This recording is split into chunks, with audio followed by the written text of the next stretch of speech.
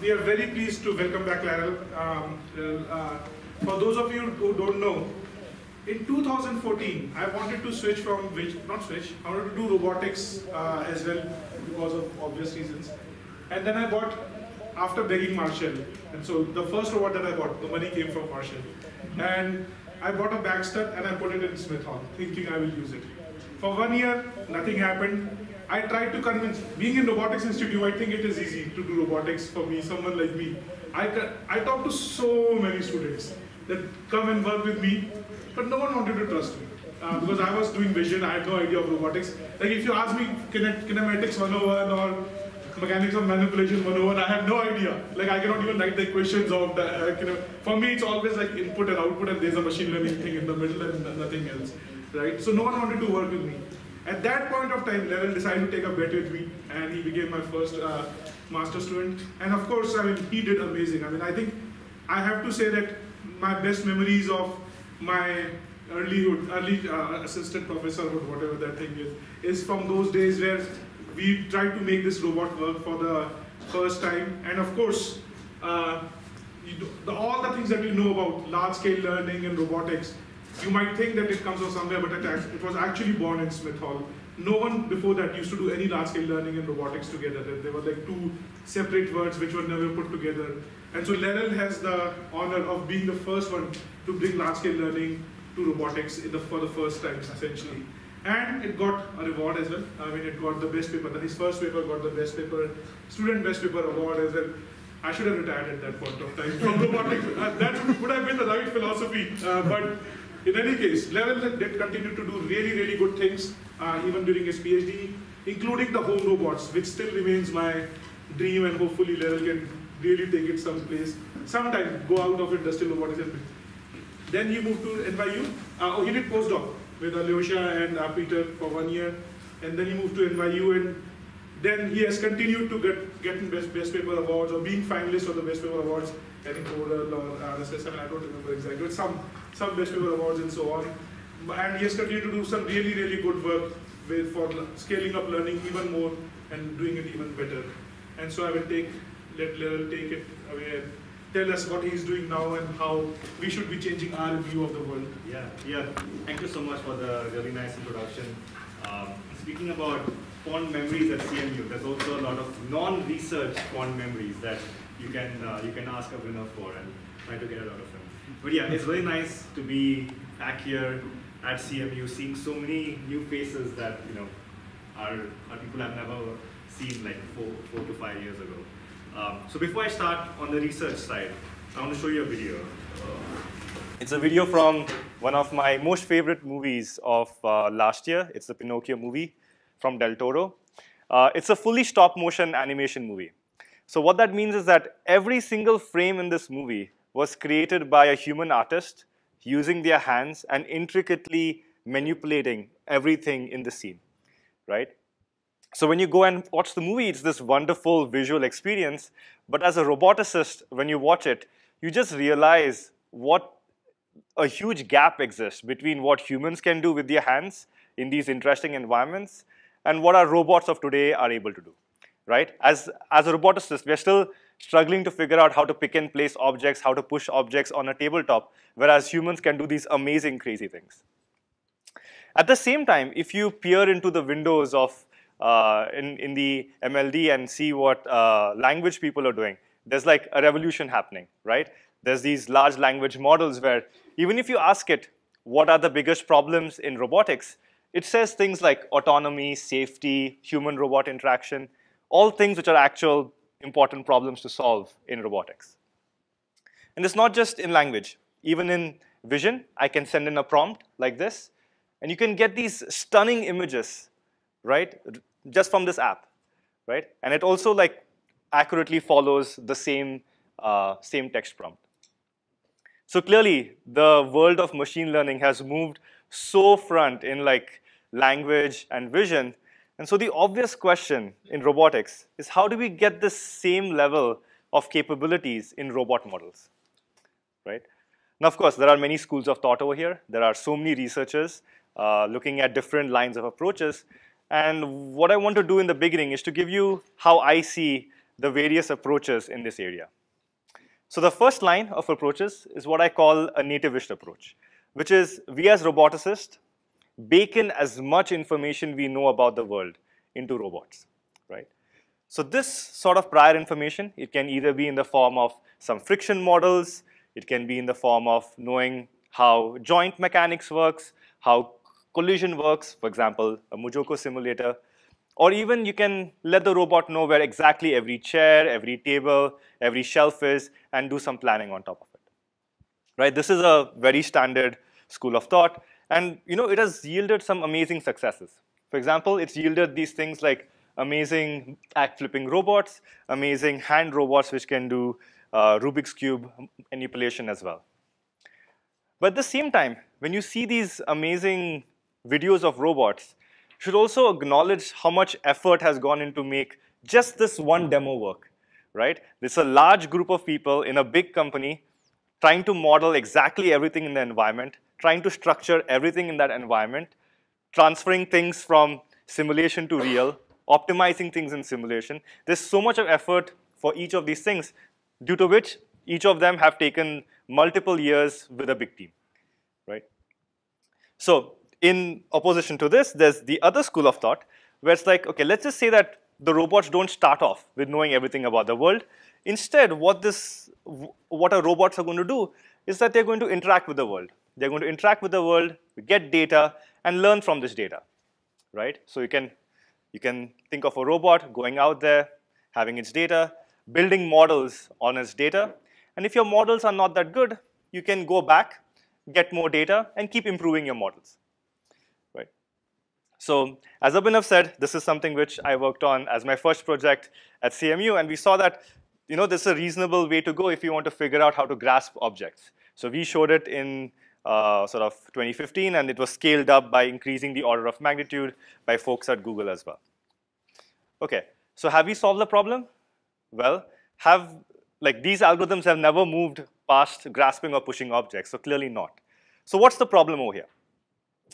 So okay, so to, to understand the problem, let's look at some studies in language. So in 2020, there was a, uh, there was a paper from OpenAI which was studying the effects of data set size with a test loss or test error. Okay, so what they see is that if you increase the amount of data uh, exponentially, you get a linear uh, linear uh, sort of our loss goes down linearly, right? But the thing to note is that in our data set size, these numbers here are like 100 billion to 1 trillion, right? So the scale of data we are talking about in these type of tabula rasa learning from scratch approaches is just incredibly large.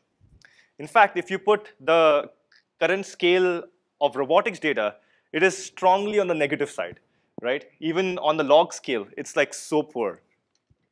And due to this, the sort of tasks we can solve here are also quite simple, just grasping and pushing tasks. So how do we solve this? How do we break this problem of, uh, of learning from scratch and try to still be efficient with this philosophy of interacting and learning from the world? Well, I think the answer lies in this cute video of a cat learning. So what I want to see here is a pet owner trying to teach his pet how to open a door. And clearly when you see, as the cat starts off, it fails most of the time. But over time, after this teaching, the cat does figure out how to apply enough force to open the door. And then after it's learned it, it can do it all the time and get these wonderful rewards from its human. Okay, so, so this is what I want to create. I want to create robotic systems which follow more of something which I call a, a constructivist approach, where you have humans in the loop, and the humans are going to guide the learning and interaction of our robots as they're building their models, as they're uh, collecting their data, as they're adapting, as they're looking at the world. So this is so so so here's the theme of what I'll be speaking about speaking about today. Okay, so I should also acknowledge that this is not uh, a new idea. Actually, it's been done since the 80s. Uh, so this is a video from Chris Atkeson uh, in the late 80s and 90s, where he was teaching robots to do these amazing skills. And the reason he was able to do this is because he knew how to solve the skills, and he was showing it to the robot. Uh, and even more recently, we have uh, approaches which are looking to, to embody this idea of imitation and, ha and having humans in the loop. Okay, so as you see these videos, also notice that, okay, I'm, I'm saying that this is a new idea or I'm saying that this is an idea which is going to speed up learning, speed up robotics. But again, if you look at newer work, they're still doing grasping, pick and place, pushing objects, right? So it's still, you know, we haven't gone past this regime of, uh, of solving really hard, intricate, uh, intricate tasks. Okay, so let's start from there. Let's say I want to solve something really interesting, really hard on a dexterous hand. So this is an Allegro hand, which we have in our lab, and let's say we want to solve something interesting here. How can a human show examples over here? So one idea is you wear a cyber glove, right? So this is uh, a, st a standard tool, and with this you can, as you move your hand, the robot hand can move its own hand. The problem over here is that these type of approaches are quite expensive, and you also need to put in a lot of effort in calibrating the system for each and every human who has to use it. Okay, so another approach on the other end of the spectrum, which is really cheap, is you just take images of human hands, uh, estimate the hand pose, and then transfer those hand poses onto, onto the robot hand. Uh, again, you know, it works well in certain cases. We worked on it. Uh, folks at CMU have also worked on this. But what we see is that, you know, just from a single image, trying to get precise understanding of these hands is still really hard. So it's inaccurate and it suffers from all of these occlusions. Okay, so how do we break this problem? Now, thankfully for us, it's not just us as roboticists who want to solve this problem. Our friends at Meta and Zuck also want to solve this problem to create the metaverse, right? So they have created these amazing Oculus headsets, which, which are actually really good hardware. So I'm not sure how well it will work on the metaverse goal, but you can actually use this in robotics right now. So this is exactly what we do. We ask humans to wear these Oculus headsets, and as they move their hands, you can get really accurate hand pose estimations over here. So this video you're seeing over here is all in real time, right? So is this person operating this system all in real time, and effectively they're using their hand as a high dimensional joystick. The other nice thing in the system is that since it's VR, you can actually make them look at the robot, so they don't even have to be in the same room as a robot as they are, um, as they're working on it. Okay, so we have a system now where humans can actually go out there and teach robots, which are not even in the same room, how to solve intricate hand manipulation tasks. So, so let's just increase our data, right? So let's just look at a bunch of tasks over here. And so we, we go out there and we get a bunch of data across a few tasks. So the the few tasks on the left side are more easier ones. As you go to the right, it becomes harder and harder. So what we see is through our experiments, we ask new users, we ask expert users, and we see that overall, you get around a 2x speed up in, um, in giving a demonstration to a robot. But what I think is more interesting is that for the harder tasks, the ones on the lower side over here and on the right side over here, you cannot even solve these tasks with a single image. You need this sort of 3D understanding of the hand to actually, uh, to actually solve these tasks. Okay, so after we have this, for each of these six tasks, we collect around an hour of data. So for easy tasks, we have a lot more data. For harder tasks, we have lesser data because it takes more time for the human operators to collect it. So after we have the data, we want to probably learn a policy on it or learn a robot model which can, which can operate on it. So how do we do this? So the most standard way is this approach, which is called behavior cloning. Uh, and the idea is quite simple. You take a neural network, you feed in observations, and you ask the neural network to output actions, right? Fairly, fairly standard neural network stuff. So in our case, our observations are images of the hand, and our outputs are actions. So in this case, we have a hand, so the actions are fingertip XYZ movements. So our action space over here is 12 dimension, 4 times 3. Okay, so we try behavior cloning over here, and surprise, surprise, it just completely fails. Okay, so why is it failing? So this is so so imagine you have this huge huge neural network over here, and it's trying to optimize all its weights just from this weak signal of one hour of data. Right? And so the signal is just too weak, and it's, so we, it just entirely overfits. It's, it's just not able to generalize, and in evals, it just entirely fails. So to fix it, what we do is we start using these tools that the language and uh, vision people have found out, which is self-supervised learning. Uh, and so we're going to try to use a lot of these approaches now in trying to train these models uh, so that they go above this 0% success rate. Okay, so I know that a few of you may already know what uh, self-supervised learning is, but just a primer for those who don't know. Just want to quickly go over, um, go over it. So first, let's look at what a representation learning problem is. Let me try to actually. Okay, I cannot. Okay, it's fine. Um, so if I'm talking about a representation learning problem, what it means is I have input which is high dimensional. So think about high dimensional images or text. It goes through something which is called an encoder, which is a neural network, which will bring down uh, this observation to something low dimensional. This low dimensional thing is called the representation. The, the cool thing about self-supervised learning is that this representation will be trained without any labels. So I just give the robot a lot of unlabeled data, and, and, and it should automatically learn what the representations are from that data. You don't need to hand label any detection boxes or key points or anything of that sort.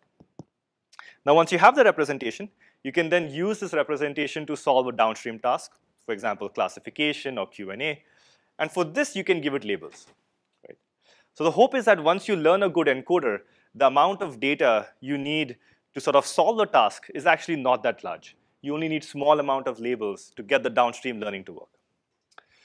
Okay, so now let's see this sort of strategy in action for our hands. So we're going to do this self-supervised learning plus imitation on the hands. And the way it's going to work is really simple. So we'll start off by just doing self-supervised learning. So we take all of our images, right? Do self-supervised learning on it, train an encoder. So I'm throwing the details of the self-supervised learning under the rug, but you can use most standard, um, most standard algorithms over here. Now, once you have an encoder, let's say in deployment time, I have this hand image, and I want to figure out what action to apply. Now, our hypothesis is that if my representations are good, what I can do is I can literally take the encodings, find the nearest neighbor, right, and then apply the same action of nearest neighbor on the robot.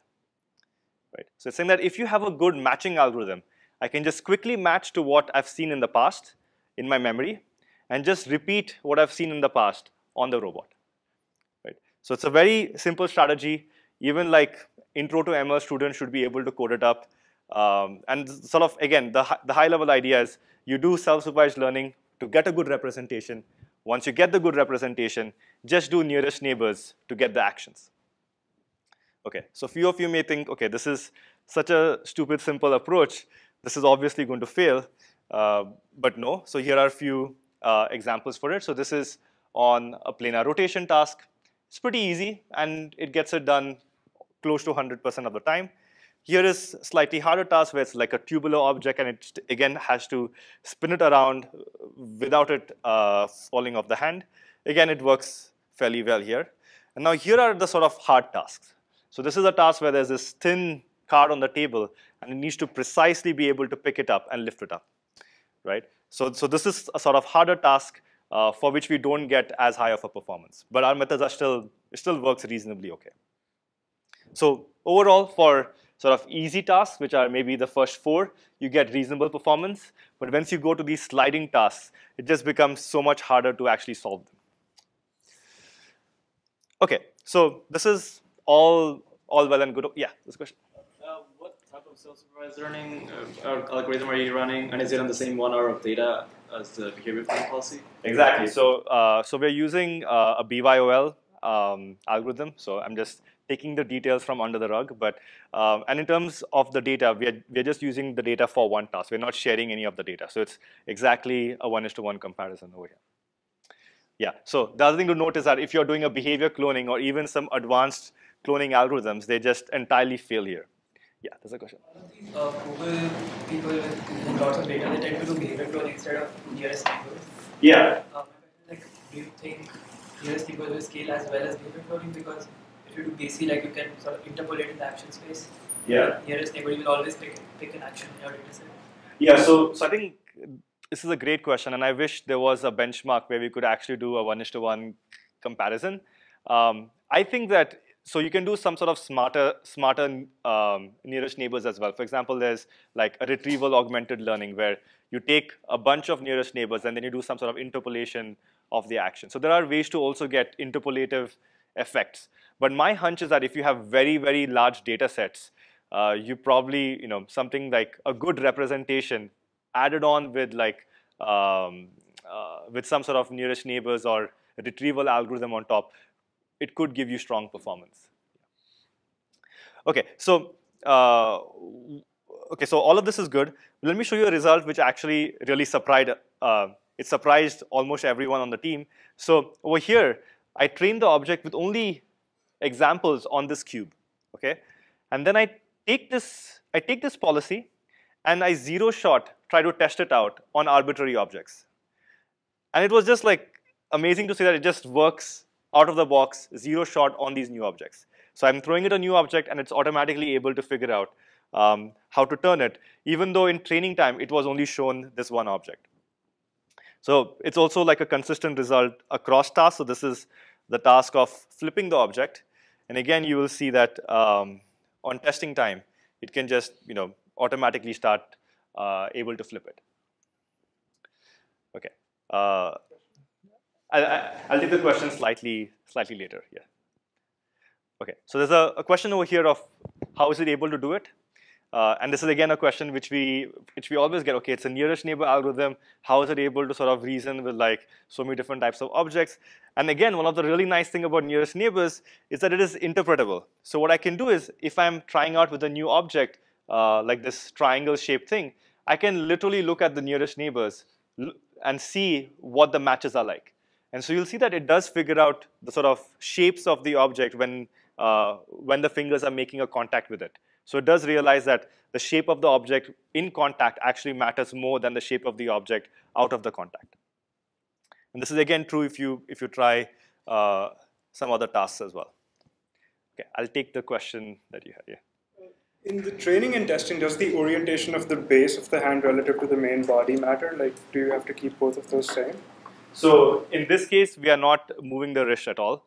Uh, in some subsequent examples, I'll show you examples in which we actually move the wrist. Yeah. Yes? Uh, so since your self-supervised representation learning is kind of like not really reasoning about contact dynamics or any of that other stuff, mm -hmm. how do you think like the representations are able to kind of like capture this notion that you were mentioning before, where like the nearest neighbors are like reasoning somewhat about like? Yeah, it's sort of like the it's it's based on visual features, right? So it sort of reasons that the visual features of the hand being in certain poses are closer to the hand being in sort of similar poses, but the object maybe being uh, slightly different, right? So it's like, it's what you want a self-supervised algorithm to ideally automatically understand that, uh, that these, two, these two scenes or these two configurations are the same. Okay, so all of our code is also public, so if you want to try it out, if you want to try out our uh, or um, Oculus Code or try out this nearest neighbor algorithms, uh, it's all on our website. Yeah.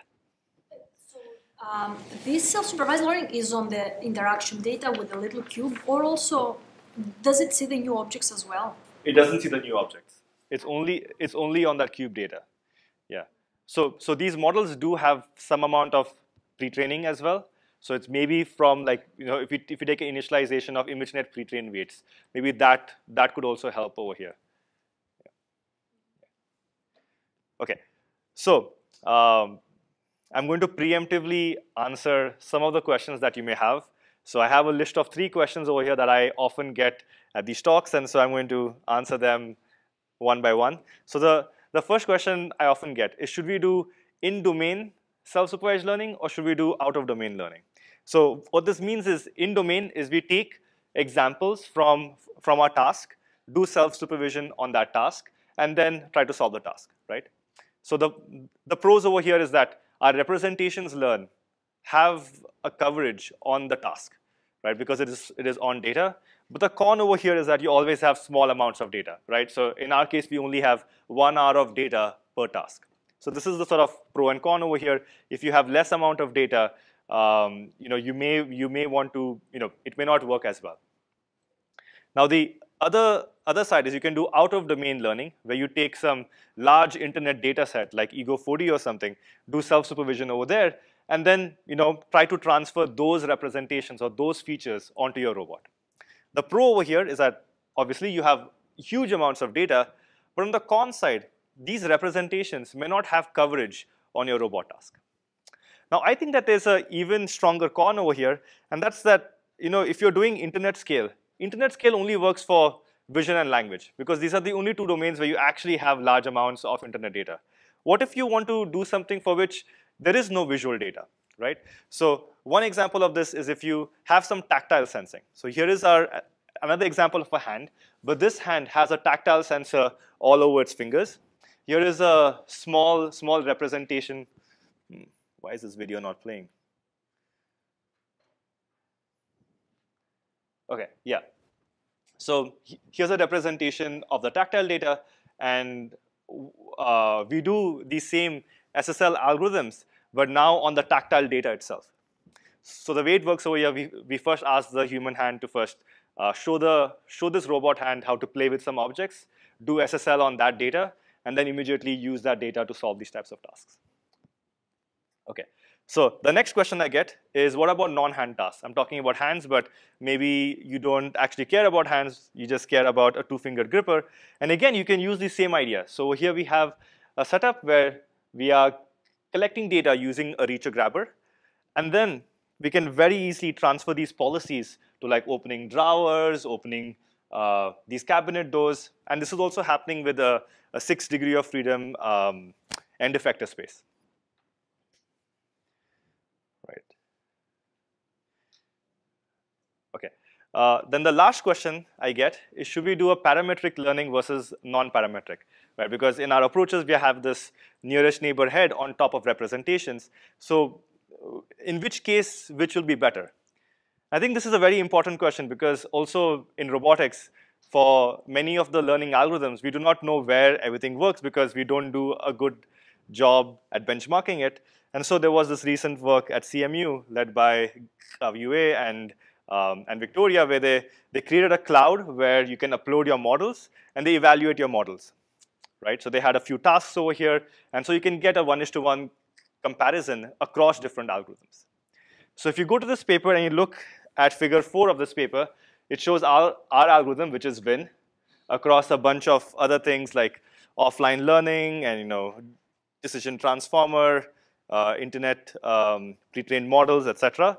And what you'll see is that if you evaluate your models on new objects in training locations, our models work quite well. In fact, it's the, these nearest neighbor models are uh, are the best over here. But at the same time, if you go to test locations, so locations where uh, it was not shown any object at all, there it completely fails. In fact, on the pouring task, it gets a 0% performance. And this is sort of like intuitive, right? Like if I show the if I show the robot a new position which was never seen before, whatever interpolation you do in training data, you'll never able you'll never be able to extrapolate using these algorithms. Okay, so the, the sort of high level point here is that we do have a limitation over here. It's not a silver bullet, um, but if you're sort of staying in domain, these algorithms actually work quite well. Okay, uh, okay, so now after we saw this result, uh, you know, we were like happy that okay, it works well on training, but also we were really sad that it didn't do well on testing. And so we're like, okay, what is actually happening over here? How do we fix this problem?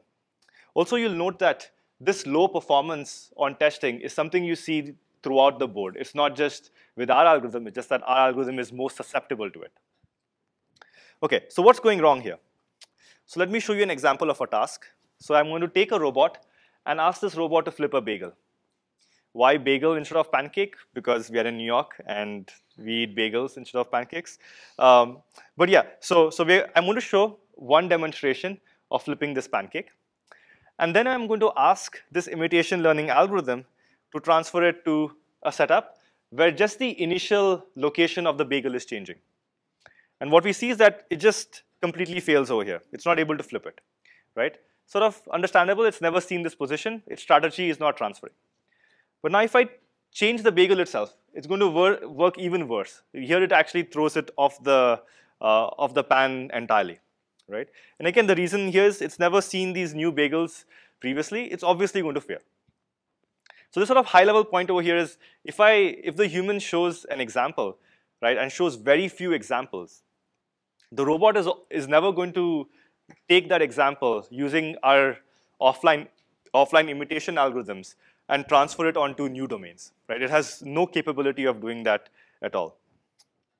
And there's also a high level thing where whatever you do, eventually in deployment, your robot will fail, right? However good your algorithm is, in deployment time, it will always see something that you have not expected, and it will fail. It's things which we see all the time in our research. For example, here are some examples of failures on our robots. Uh, so in the first one, it's the hand where it just throws objects off the hand. On the bottom, it's like our door opening policy, where if you sort of hide some of the key features, it just like tries to open in thin air. It's not just in our work, you know, you've probably seen bloopers of robots all the time. My favorite robot blooper is this one where the robot is supposed to feed a baby milk, you can expect what's going to happen. Okay. Yeah. So so so we need we need some way in which once the robot fails, it has some way of not failing in the future. Right? How do we give this give robots the ability to learn from these failures on the fly in deployment time? So this is a problem which we have also been very interested in. And the key idea is we are going to use the same representations that I spoke to you earlier as a basis to now do adaptation.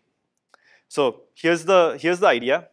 So let's say I had my human information, which is top, which showed me how to successfully flip, uh, flip the bagel.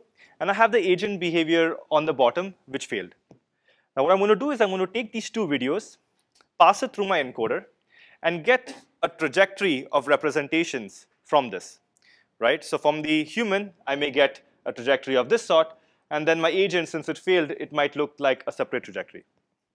Now what you want to do is you want this robot to somehow figure out how to take this green result and make it match the orange result, right? So the first step in doing this is you need to do something called alignment, where for every point in the expert, you want to figure out what is the optimal point on, on the agent. We do this using an optimal transport matching technique. So this gives us the best match uh, from the human to the agent. But apart from telling us the best match, it also gives us a matching score.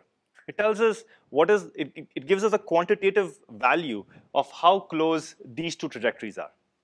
And this is great because we can now use this quantitative value as a reward, right? So we can say that this matching score is going to be your reward.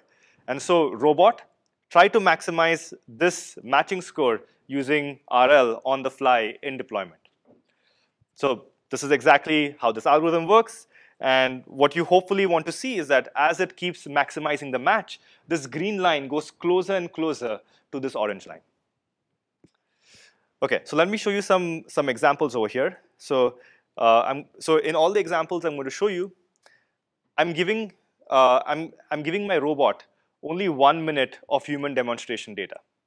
Okay, and then after I give it a minute of human demonstration data, the robot has up to 20 minutes to play around on its own.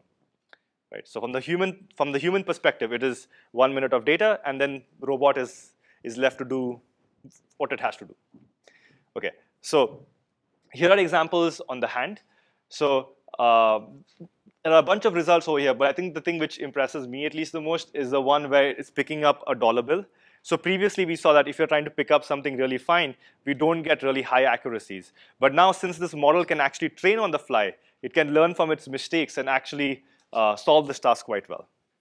Then we take the same algorithm. We put this algorithm on our Hello robot, and now it can immediately scale and immediately be able to do a bunch of household tasks like opening a cabinet drawer, opening um, opening just normal drawers, switching off your light. And again, take the same algorithm, you can put it on a XARM robot, and you can do more precise things like inserting keys into keyholes, flipping this bagel, and doing other sort of um, insertion-like tasks. Now, across the board, we see that we get around 3x improvement uh, across like across the board, across all these all these tasks versus prior imitation learning uh, prior imitation learning algorithms. But again, what I think is really interesting is, is the fact that you can try to do some amount of generalization now with this algorithm. So what I mean by that is let's say on the, on the task of trying to pick up a dollar bill, I show you a demonstration over here of the robot trying to pick up a dollar bill. I give you one minute of data on this. And now in deployment time, I just change the, I, I change the object. I change it to either a $50 bill or to a card. And again, this model just immediately works, right? The, the inputs into the model is vision data. So it's similar to the images that you're seeing here. And so it shows you that the representations you learn can actually transfer across objects as well. Here is the same sort of experiment setup, but on the flipping a bagel task. And over here, I, I changed, the, I changed the, the piece of bread. So instead of being a bagel, uh, instead of being that bagel, it's, a different bagel, or it's a croissant, or a piece of bread. Uh, it does fail. These algorithms also fail if the strategy was not the right strategy. So we have experiments where we ask it to flip like um, a roti, but the roti is soft, so you cannot use this strategy. You actually have to lift it up and, and rotate. So our, our algorithms cannot figure out a new strategy altogether. Okay, so if you're interested in this, this is a fairly versatile algorithm. We again have all of our code online. Uh, and so if you want to try it out on your domain, please feel free to try it out. Yes? So the trajectory you were showing was in the representation space, right? Or was it in the robot configuration? On the representation space. slightly confused. So when you said one minute of data, if you can collect multiple trajectories, how do you decide which one to match? So, so it can it can match to to to either of them. So it's just like a sequence, and the optimal transport actually it can it can cross. Yeah, it can do mixing. Yeah. So, so we did one minute because for one of the tasks, you needed two or three demonstrations. But for, for a lot of the tasks, we only show it like one demonstration. So you use that one minute to allow ourselves to get maybe one more demonstration for some of the harder tasks. Yeah. Any other questions? All right. Okay, so in all of the works I've spoken about so far, there's a human. A human is giving expert demonstration, and the robot is learning from that expert demonstration right? So this is all in the framework of you're assuming that the human knows what the right thing to do is, and it's able to do, uh, and it's able to sort of imitate that. But now let me, let me give you a, a, a sort of simple example where let's say I ask a human to show me how to go from left to right while avoiding this obstacle. Now, what they would do is they would probably show some examples of going on top, some examples of going on the bottom. And let's say you are trying to use any of these algorithms to like imitate this behavior, right? Now, for those who have actually trained models using like MSE losses, you will know that what's going to happen is this a robot is just going to go straight, and then as it reaches the intersection, there are two actions. It will just say apply no action and get the lowest mean squared error, right? So it'll just stop over there, right? And so this is a problem which we see often in robotics, where if I'm trying to learn from from data which was not curated for a specific task, it was just, you know, collected in a playful way or just like observing humans is very multimodal, right? And so the question is, how do we learn these multimodal behaviors when it was not intended to solve one specific task? Okay, so to solve this, we create something called a behavior transformer. And the idea is that, okay, transformers are great at doing multimodal prediction. All of us have heard of, uh, of GPT-4 and ChatGPT. So it's clearly good at doing a multimodal prediction. Uh, but now we, we want to somehow retrofit these transformers to robotic data. So what's the difference between robotic data and language data, right? So in robotic data, the main difference is that our actions, our outputs are in a continuous space. And not just in like a low dimensional space, it could be in a high dimensional continuous space, right? Whereas in a transformer, the outputs are in discrete spaces. So that's why it's able to do a multimodality because it's easier to do multimodal prediction when it's a discrete space as, as an output. So what we do in the behavior transformer is we take all of our actions, right, which is a continuous action data set, and we do a k-means clustering on it. Again, it's a machine learning 101 trick, where you take all your actions, do k-means, and you get a cluster of, let's say, k-bins.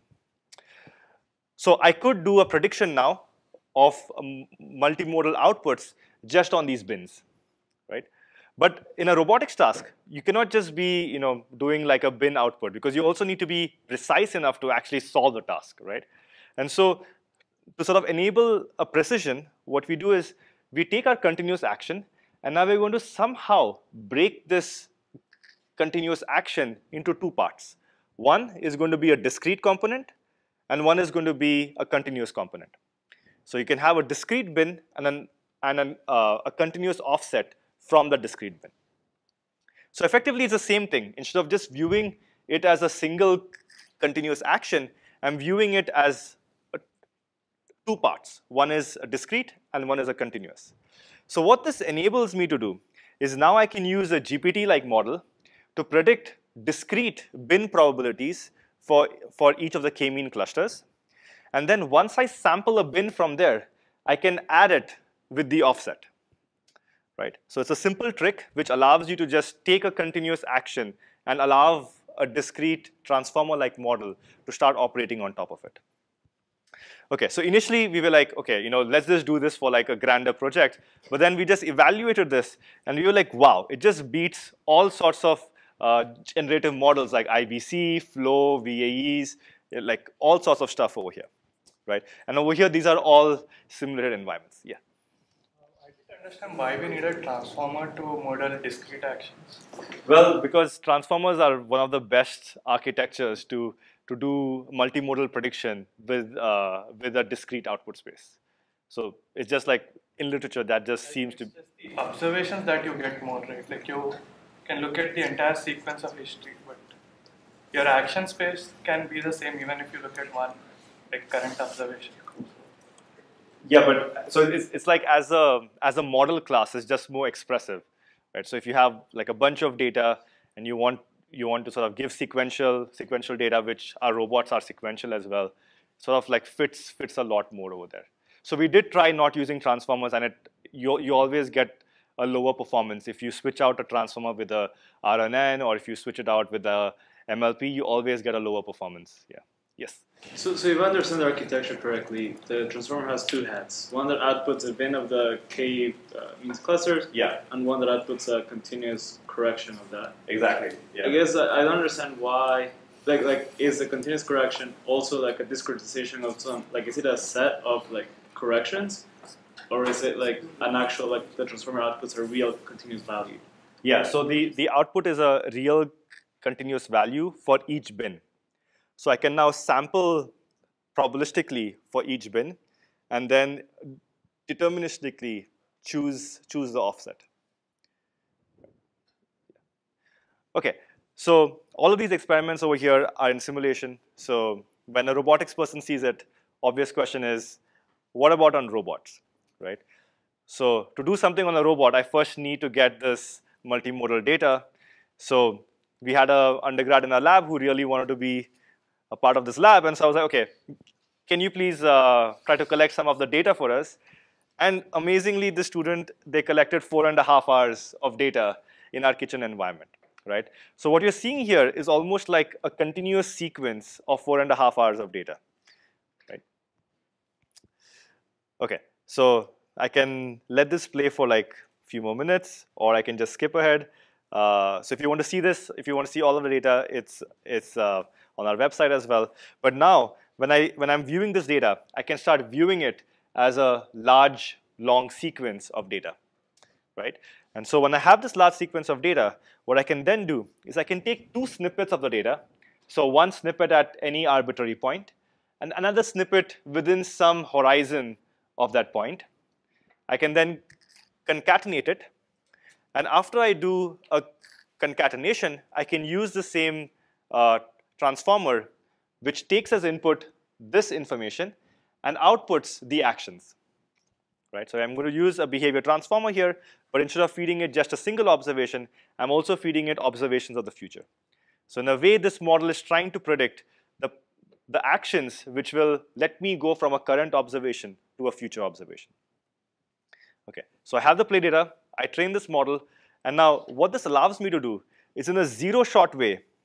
If I wanted to open an oven, I just show it an image of an open oven, give it to the robot, and the robot will then automatically figure out the sequence of actions to open the oven.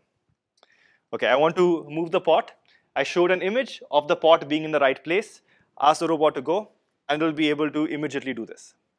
Right? It's able to do this without any reward information, without any extra data, without any online training again.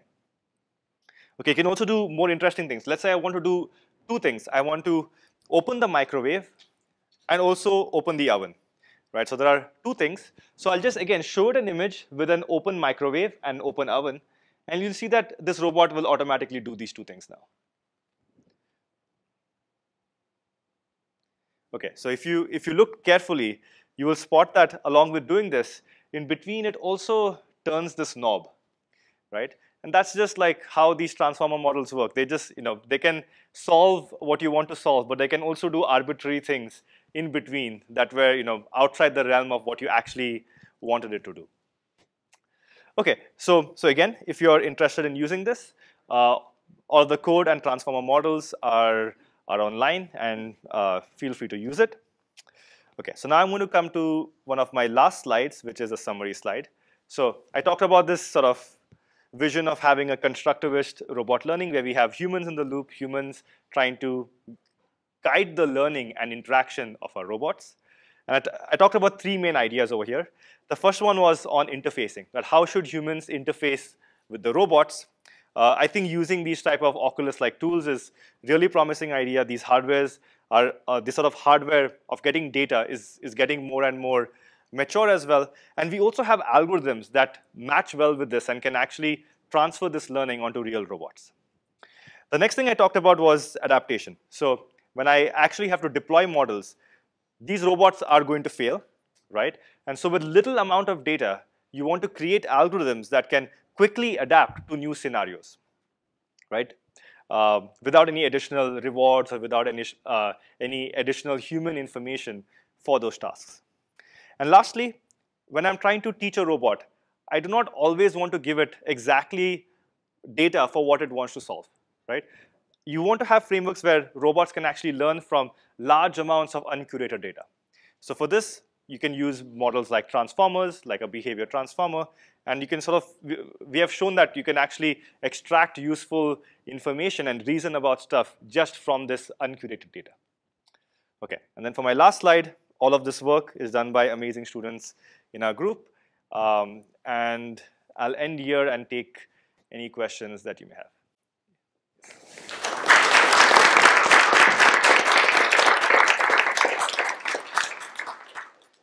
Yes. Uh, so a lot of your um, experiments are shown in the similar testing environments. I show this uh, example, God are going to are able to create a label using just one of supervision. Mm -hmm. So I wonder what would be required if we want to obtain a robot can select any label in any kind of environment and like with, different uh, background, different types of uh, tools. Yeah, yeah, I think um, over here, um, I was looking at more on, I give you the least amount of data from humans, and I want to see how fast you can adapt to as many scenarios as you can. So we have looked at things where, okay, I changed, um, um, I changed the spatula. How well does it work? I changed the, um, the pan. How well does it work over there? So I think there's one axis in which you can scale where when I show you demonstrations, instead of just showing one minute of demonstrations, what if I show you an hour of demonstrations across lots of novel scenarios? So I think that's one way to scale. The other way to scale is I show you one demonstration, but then when I'm doing adaptation, I give you more time to adapt to you know more crazier environments. So I think you could go either of these two routes and get and get like a generalization to these new environments there. You show an example that the robot can um, act on the pre-learned features. Um, I wonder, um, one problem I'm wondering is if the feature is task dependent. For example, if I want to um, rotate an object in my hand, I'll focus on the feature that uh, in my hand. Right? If I want to place objects on a table, I probably want to focus more on the feature on the table. But the pre-learned um, uh, representation could miss some of the features that Yeah. So, so I guess um, the question is that how do you ensure that your um, your representations are capturing the relevant features of the environment that you care about, right?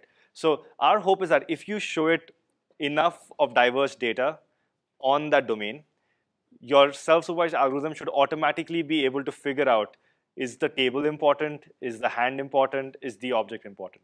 So I think at least from our philosophy, you would go on the data set route and see that if like if you can create algorithms that can automatically extract these representations from it.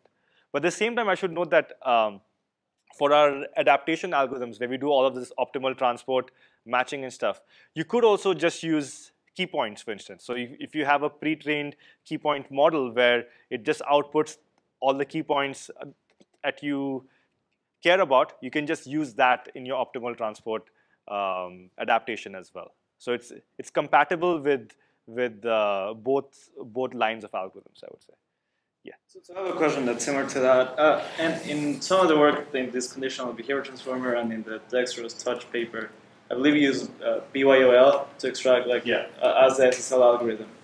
And I'm curious if, if you think this is the right loss or the right training objective for the uh, representations you need for robotics, since like yeah. usually you care about more of the finer details, or you care about temporal correlations, and mm. BYOL works more on like a image level augmentation scale, like so I'm yeah. curious if you've explored any other types of uh, classes or. So actually, for, for most of our projects, what we do is we try out all possible self-supervised learning algorithms, and we see its performance across all the tasks for which we have data. So we have this huge matrix in some sense. And what we see is that across the board, because the BYOL algorithm is so simple, the amount of hyperparameter tuning is so less that we can just focus on the tasks and focus on the learning of the tasks. So I would say that when we started out, we did a lot of extensive studies, but then later on, we were like, okay, it's good enough, let's just use the representations and build something on top of it. But I totally see the point that uh, maybe it's not the best algorithm, maybe there's something out there. Uh, but from what you see from the machine learning trend is that even if you have a weak algorithm, if you have enough of data, it normally is able to account for it. So as long as your algorithm can scale with, uh, with having more data, it's, it's a fine algorithm. Uh, of course, if someone out, out here is, uh, is going to give me a new self-supervised algorithm and says that it's going to improve performance, I would gladly take that algorithm and improve, improve uh, all of our robots. Yes?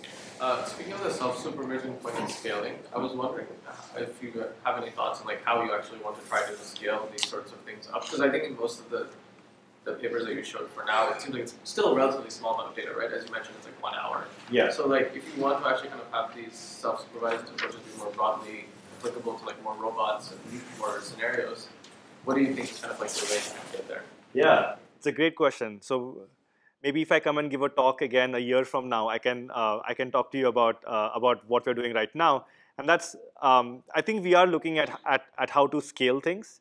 Uh, and I think the problem with scale in robotics is that you have to actually go out there and collect this data, right? And so it takes time, right? So for example, um, folks at Google um, at Google, for instance, they took a whole year to get a bunch of data across multiple humans as well and only then they were able to show like things like RT1 or SayCan on that on that data. And so if as an academic lab you're trying to do this, it'll be probably a little slower. So we have to be more creative in terms of how we get higher quality data. And so that's what we are looking at right now. And um, you know, hopefully at some point we can we can share that work. Yeah. Yes.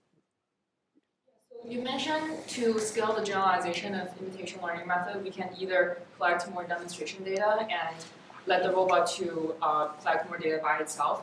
So for collecting more demonstration data, that's basically the RT1 result, and then the other one would be Qt-opt would be the example. However, do you think, um, however for RT1, they have so much data, but it still does not generalize to different objects. It can only like chain trajectories together. So is this a really scalable solution to imitation learning?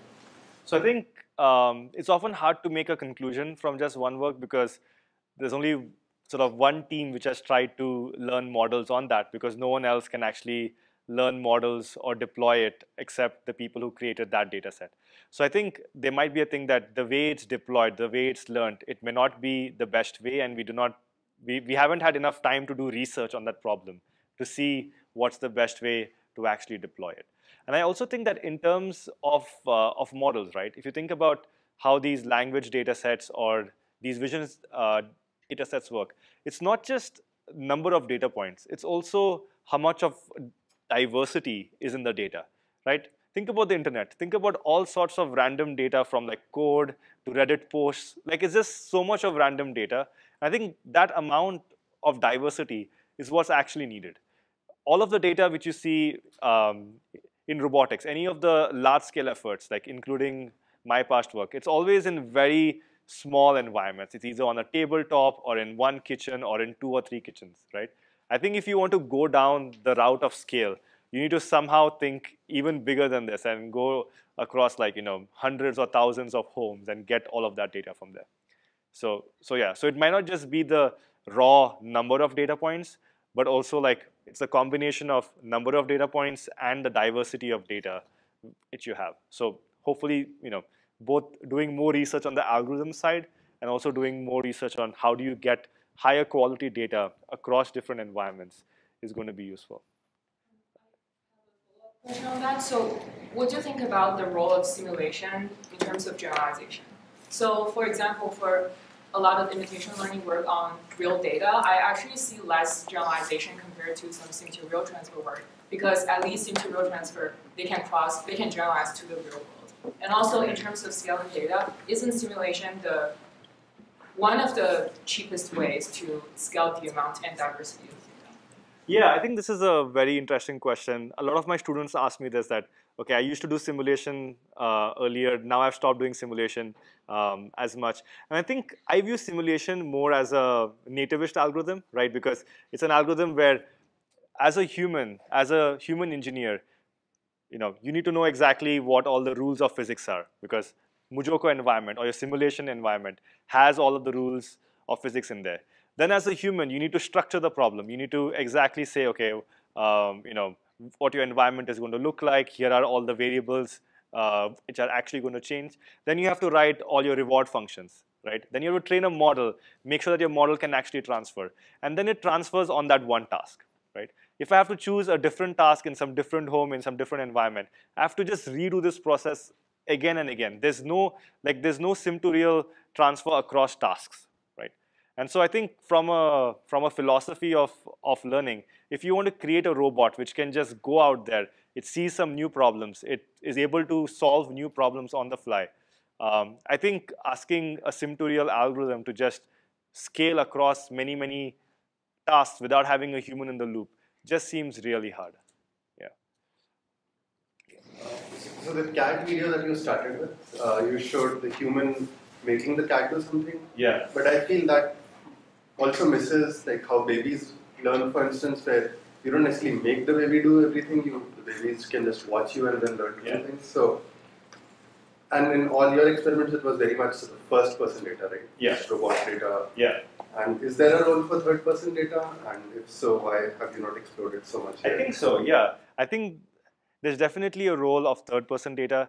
Um, I think the reason I have not explored it is because uh, amazing researchers like yourself are, are exploring it. And uh, hopefully when you have a solution there, I would love to take those interfaces and cross the gap between what human morphology does and what a robot morphology can do.